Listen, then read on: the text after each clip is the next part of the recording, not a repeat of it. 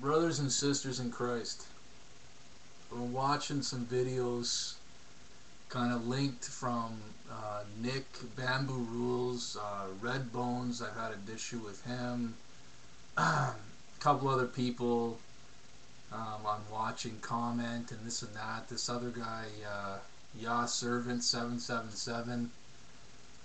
Um, you know, brothers and sisters, it looks like, you know, we're like kind of making a laughing stock of ourselves, you know. Um, you know, I want to speak on judgment and what is righteous judgment and what is not righteous judgment. First off, you know, like, we can probably all admit that in our culture today, not one of us has really seen a real apostle, a prophet, evangelist, teacher, then pastor. We've got tons of pastors who aren't feeding the flock, who are not telling the truth and forsaking all and being real leaders, and they're leading the flocks to the slaughter. You know, and Jesus says in the Old Testament, feed the flock of my slaughter. You know, and um, anyways, um, because we haven't seen real men and women of God, more men who are supposed to be leading, that's biblical. If you don't like it, women, you know, I'm not saying that women don't have a place. There's women prophetesses who may be more vocal, but in a godly setting, and you can read it in the New Testament, Paul says women are to be more subservient and, you know, take it up with Scripture. You know what I mean? If you have an opposing scripture, I'd love to talk with you. I you know I'm all about love when it comes down to it. But you know, if you think that love is only encouragement, um, compassion, grace, mercy, um, you know, warms and warm and fuzzies, then you're fooling yourself and you don't really know the fullness of God's love. Are you condemned? No because you know you're still alive to come to understand the fullness of God's love. Let's look at the Old Testament. How was God's love shown to His people when they walked away from Him? Um, I guess affliction. Read Psalm 119 and see how David loved the affliction of the Lord. He loved God's law and the righteousness, and the righteousness of God's law, which was revealed to him. Not just the law, which is good works without grace by faith. You know, um, he, you know, he loved the judgments of God. He had Nathan the prophet got in his face and told him, "You are that man." When he gave him the story about about uh, the wicked, uh, the, the the the man who took the sheep and stuff, and really he was giving him a, a spiritual analogy of what he did by taking Bathsheba from her husband and having the husband done away with on the front lines of war, which he which he you know, sinisterly planned to do. And, and, and then Nathan the prophet got in his face to rebuke. Um, what I will say, and Jesus says that, you know, we cannot judge if we have a mote in our eye. If there's a mote in our eye, then we need to take it out first before we judge. But Paul says the spiritual man judges all things, yet he is judged of no man. So what I see happening a lot here on YouTube is there's a lot of people who don't really love correction. And what does the Bible say about that? The fool hates correction. So are we being fools? You know, we need to examine ourselves and are we really in the relentless pursuit of truth at all costs? Even the cost of ourself and our emotions that don't really like uh, correction or rebuke? If you think correction or rebuke is going to come in some way that you're going to always receive it right away, um, then you're fooling yourself because that's not how God works. God will do things to you and let you go into situations. And I've, even in real time recently, I've fallen into that. And the person that, there's a person that knows exactly what I'm talking about if they watch this video.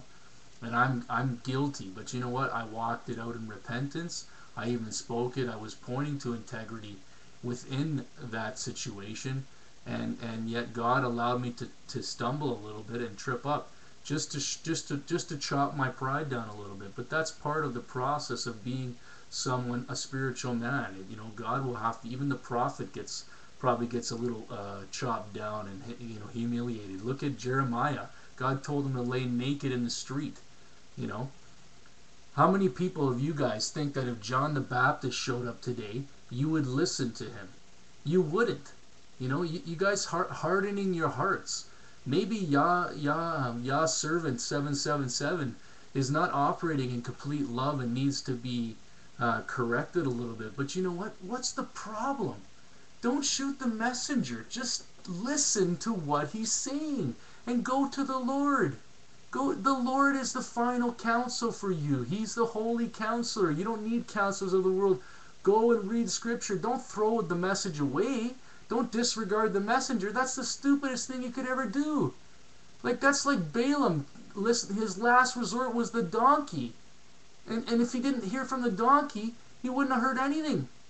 Now Balaam ended up screwing up anyways, but maybe that's a bad example, but you know, look at Samson, how many warnings he kind of had and signs, you know, and he kept going the wrong way. It's like, you know, the Bible says we would never go God's way.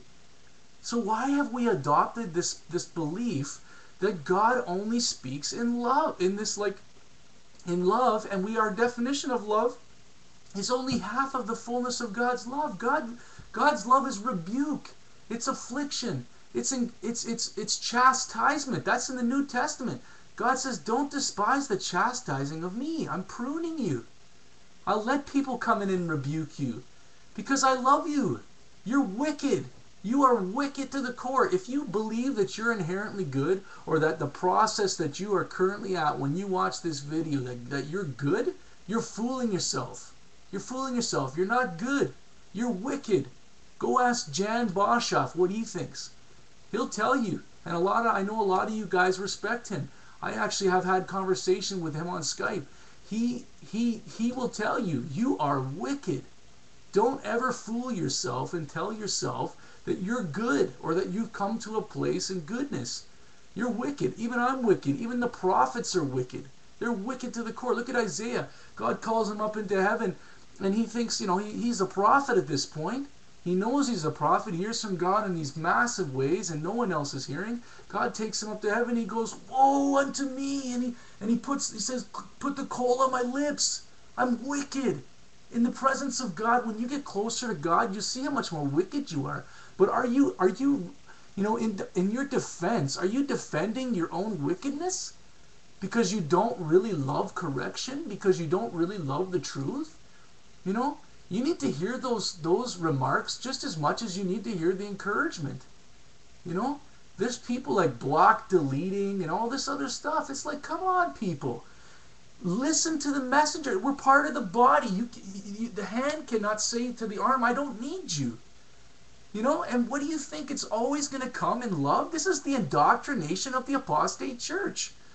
It's not always going to come in some warm, fuzzy, type of thing. And I'm sorry to tell you, but it's the truth. You, you're ignoring, we love to read the good promises of God, but you don't, nobody wants to be on the foundation of circumcision, which comes through rebuke, chastisement, affliction, brokenness, you know, um, you name it. Sometimes real time judgment. If it's not the final judgment of God, then the judgment that you receive in real time is actually a blessing because you're wicked. You need you need it.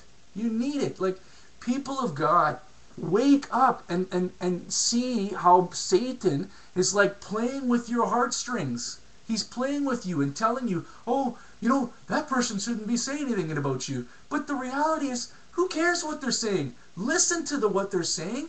Don't take the offense. Take what they're saying. Just filter it out and say, okay, what is their message here? Listen to it a few times if you have to, and then go and get on your knees, be a man or woman of God, and pray about it.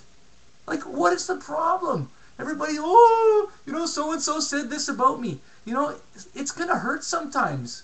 When did Jesus say, take up your cross? Does he mean it's going to be a party time? No, it means crucifixion. It means you're going to die you are going to die to to the old person. And when you when god starts bringing you up to other people you're going to seem like totally new. I never used to rebuke people. I used to hate it. I used to run away like oh I, I oh, the holy spirit will speak. And then god smacked me up beside the head and said i'm going to send you and make you a messenger and you're going to have to be humble in it